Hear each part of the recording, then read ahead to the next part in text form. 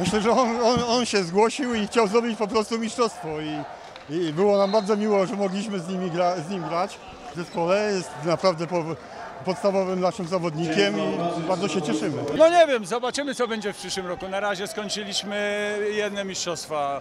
Chciałem pograć z naprawdę dobrymi e, ludźmi, zawodnikami. Cieszę się, zdobyliśmy wszystko co było do zdobycia w dobrym stylu.